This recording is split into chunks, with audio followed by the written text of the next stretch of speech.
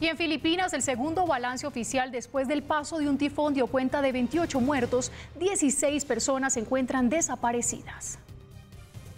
Desde el aire, Filipinas Central parece una región bombardeada por las filas más demenciales del enemigo.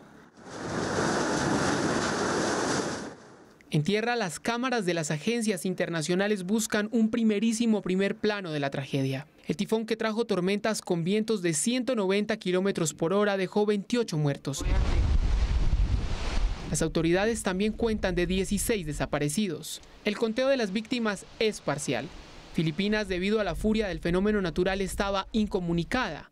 No tenía internet, tampoco telefonía celular.